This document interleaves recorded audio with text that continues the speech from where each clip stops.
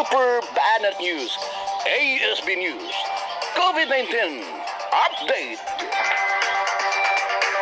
Okay, uh, diya tayo uh, dugang nga COVID-19 update na Delta variant na mga igsunan. Upgraded na nga to aga COVID-19.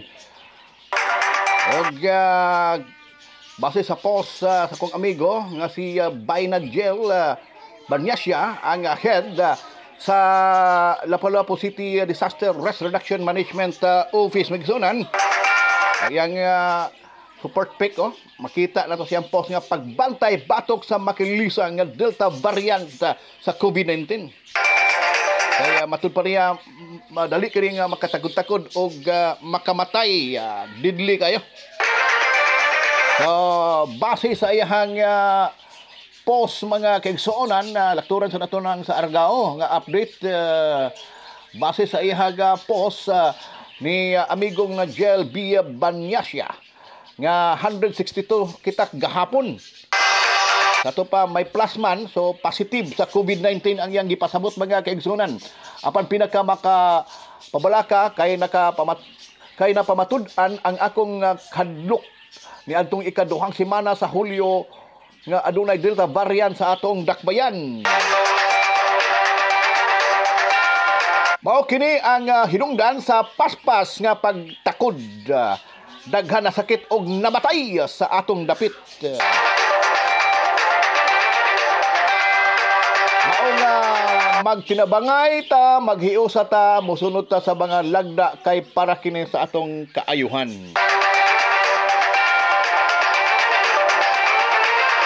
Pagbantay batok sa makalisa nga Delta variant sa COVID-19.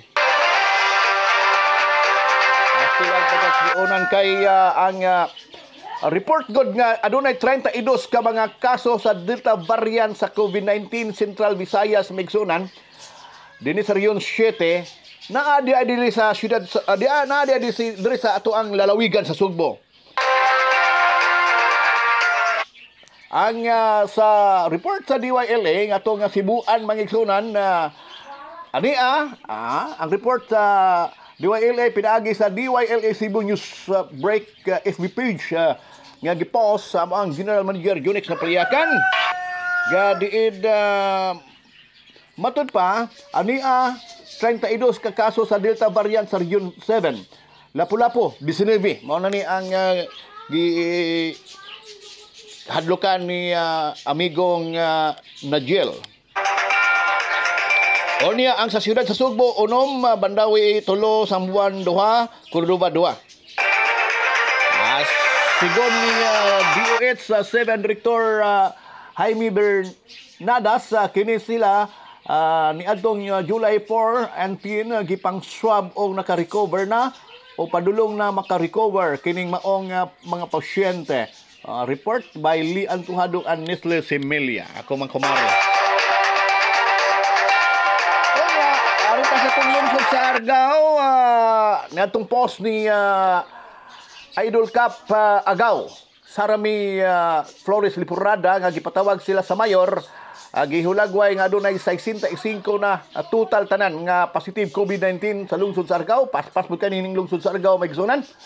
Og uh, niadtong uh, kuan uh, aha, Monday, Tuesday, Wednesday, uh, 28 adunay pito nga gi-report ang atong tracking sa DOH sa uh, Riso, Central Visayas, Argao nga uh, positive og uh, karon o kagahapon Wibes mga kasudat adunay uh, 29 sa pitsa 29 2021 adunay unom so pila naman tanan dili lang kumo total uh, pasagdahan na to ang uh, uh, kaniang uh, official statement uh, sa DOH nga maoy mo total ini mga igsunan uh, ato ang RHU uh, diri sa Argao Oh, dia ang uh, Thursday, July 29, 2021 uh, nga result uh, baigsuonan uh, sa gipagayong subtest itong miaging adlaw Binlod Argao upat, poblasyon uh, Argao usa, Talaytay Argao usa.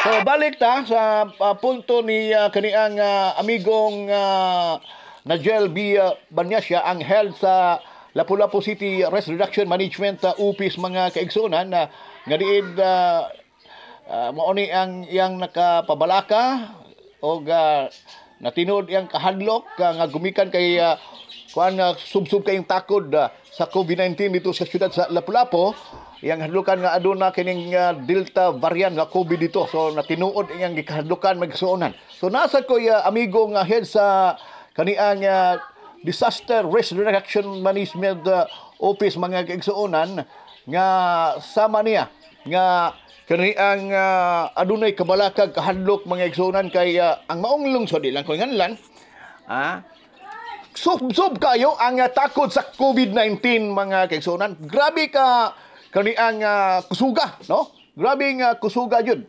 So, motor pa niya nga duda siya, no? Duda lang niya kaya ang Department of Health may mo confirm ini nga ang uh, ilang lungsod na ay kaso nga Delta variant kay perti yung kusuga. Ah, ang uh, takuday sa COVID-19 mga igsunan kusog kay ni Saka ang kaso nga COVID-19 sa ilahang uh, uh, lungsod. So mo na inungdan mga kaigsunan nga uh, padayon atong monitoring uh, sa COVID-19, update sa COVID-19, wala nung tatayin ni mahinagad, magsunan kay Puulman ba?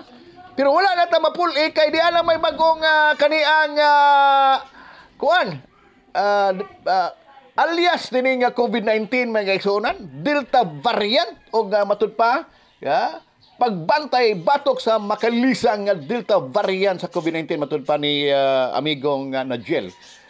Uh, kaya nga naman, kusog mo takod, o makamatay. Ah, deadly matud pa mga kaigsuonan. Uh, mo na ito ang uh, update uh, sa itong uh, pag-monitor kanunay uh, sa COVID-19 uh, dinhi sa ato ang uh, Pinas sa lalawigan sa Sugbo o sa ato ang uh, lungsod mga kiksunan dinhi sa ato ang uh, Oira Channel. Ubos lang dong sa Argao Superbanat News SB News. Uh, maapaabot ninyo ang uh, duga nga mga updates mi iksunan uh, niining uh, gibantayan na karon uh, gika hadlukan uh, gikabalakan nga Delta variant uh, sa COVID-19